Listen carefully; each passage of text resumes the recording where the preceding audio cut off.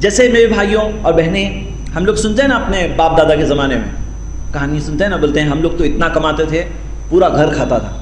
अभी इतना कमाते हैं तो भी खर्चा कम नहीं हो, कम पड़ता है। क्यों? आज हम देखते हैं कि बुराइयाँ बढ़ रही है। और जब बुराइयाँ बढ़ रही है तो माल की बरकत कम हो जाती है। जो पहले के ज़मानों में, जब बुराइयाँ इतनी ज़्यादा नहीं थी, आज जो सूद शक्लें बदल बदल के आता है तो क्या होता है? बरकत ये सब चीज़ों से चली जाती है। माल हो, फिर भी बरकत नहीं है। माल होकर भी इतमान नहीं है कनात नहीं है। मालदारी कहाँ है? नबी सल्लल्लाहु अलैहि वसल्लम ने फरमाया, अलगिना फिल कल्ब मालदारी दिल में है। वलफ़र फिल कल्ब माल और फ़कीरी भी दिल में है। वो मन कहना गिना फ़ी कल्ब ही और जिसके दिल में मालदारी होती है लादुर हो मालकिया मैंने दुनिया उसे दुनिया की बहुत परेशानी भी आ जाए तो परेशान नहीं करेगी।